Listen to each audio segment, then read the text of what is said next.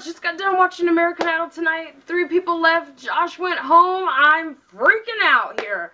I really thought it was going to be Josh and Jessica in the in the finale.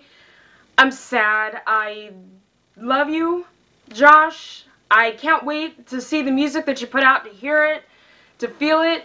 If it's anything like the way you sing "It's a Man's World," that oh my gosh, I, I it was eh, you should have seen me here. If you could have seen me here, just so you know, I think my neighbors heard me.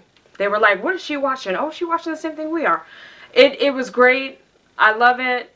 I love you. Just so you know, Josh, I don't think that you needed American Idol at all. I don't think you needed to be in the finals. I think that you're going to be bigger than Adam Lambert. So, and I, and I love you, Adam, um, but I do think that Josh is going to be bigger. I think he's going to go on to like a Kelly Clarkson, um, Carrie Underwood, kind of a kind of an artist. So, I'm really excited.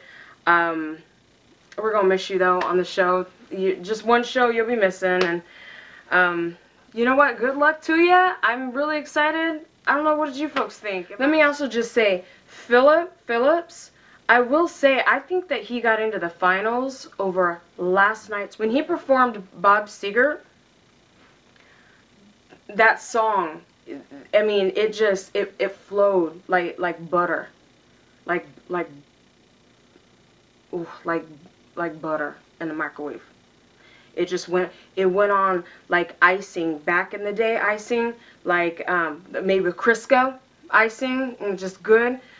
Oh, it was, it, it was great.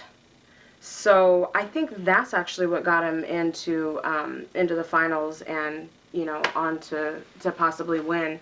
So Phillip Phillips, I, I think you're great. I do think you're a different type of an artist. I am excited to see what you're going to put out. Um, I don't know. We'll see, though. I don't know, folks. What do y'all think? What do y'all think? Am I right? What do you think? I mean, need I ask? I know I'm right, but, you know, I'm just saying. I thought I'd ask.